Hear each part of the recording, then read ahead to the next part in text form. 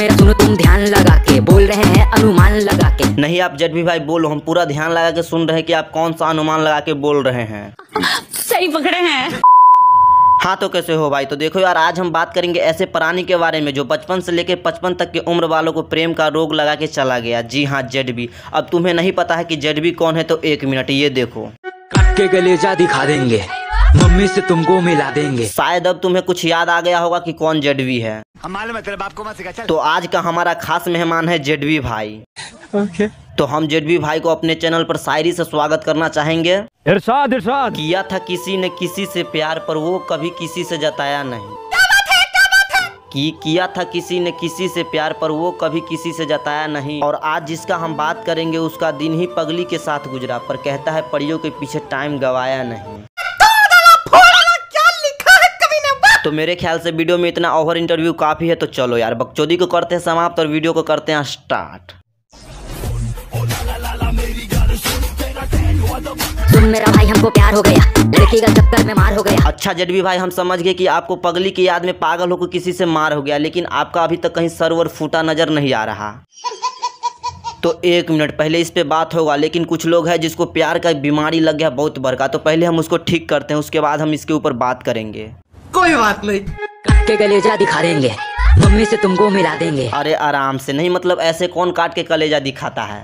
देश संकट में है। चलो एक मिनट के लिए मान लेते हैं कि ये ऐसे ही काट के कलेजा दिखाता है लेकिन भाई जब इसके कलेजा को काटेगा तो खून नहीं कुछ और ही गिरेगा।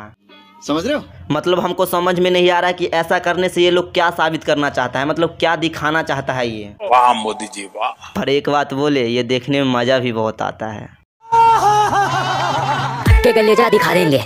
मम्मी से तुमको मिला देंगे। अब ये देखो इसको कौन लव सिखा के चला गया? नहीं मतलब और कार्टून में भी लव वाला सीन होता है क्या? बंद करो हाथ जोड़ के मैं मैं मोदी साहब से गुजारिश करता हूँ। नहीं तुम जरा सोचो कि इसको अभी क्या पता है कि कलेजा क्या होता है और कैसे काटा जाता है। देश संकट में है। यार जडवी भाई इस बच्चे को बिगाड़ने में सबसे बड़का हाथ तुम्हारा है। हम भागते हैं सपनों के पीछे। ये दिमाग खाली हिट गाना लिखे। यार जडवी भाई तुम हम लोग को चुतिया क्यों बना रहे हो? सब लड़की के पीछे भागता और तुम क्या तुम नहीं भागते हो? जनता को आप मूर्ख समझना बंद कर दी नहीं मतलब ये सब देन है जडवी भाई का ही जो निब्बा निबी आजकल का लव के चक्कर में पड़ता है। मतलब देख लो यार दिखा देंगे मम्मी से तुमको मिला देंगे शर्मा लेगा बोल के मम्मी आ गई यार जडवी भाई इंडिया में तो सत्तर परसेंट बच्चे तो आपका गाना सुन के बिगड़ गया और आप बोलते हो कि सब भागते हैं लड़की के पीछे। बात तो सही है। पर एक मिनट अगर आप लड़की के पीछे नहीं भागते हो तो काट के कलेजा किसको दिखाते थे? काट के गलेजा दिखा देंगे। और क्या बोलते हैं बारिश में भीग के किससे मिलने जाते हैं? और ये सब तो छोड़ो अपने मम्मी से किसको मिलाते थे? मम्मी से तुमको मिला देंगे। और ये भी तुम नहीं बता सकते हो तो और जींस छोड़कर साड़ी किसको पहनने के लिए बोलते थे? जींस विंस का चक्कर हटाओ। साड़ी में तुम बहुत सही लगती हो। मतलब जेडवी भाई हम लोग चुतिया है। नहीं तो आप हम लोग को चुतिया समझ रहे हो नहीं तो आप शायद चु... सुन मेरा भाई हमको प्यार हो गया। लड़की का चक्कर में मार हो गया। और जेडवी भाई तुम्हारा गाना का तो लोग गलत यूज़ भी कर रहा है ये देखो। काट के गलेजा दिखा देंगे। मम्मी से तुमको मिला देंगे। मतलब तुम ही बताओ ऐसे ही कलेजा काट के तुम दिखाते थे क्या? समझ में आ रहा है?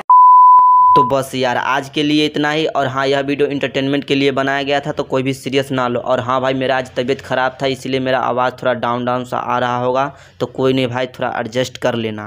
Okay okay. और हाँ अगर तुम में से कोई भी हमारे चैनल पर नए आए हो तो प्लीज़ यार सब्सक्राइब कर लो क्योंकि हम ऐसे ही वीडियो लाते रहते हैं। तो चलो यार अब मिलते हैं नेक्स्ट वीडियो में तब तक के लिए बाय बाय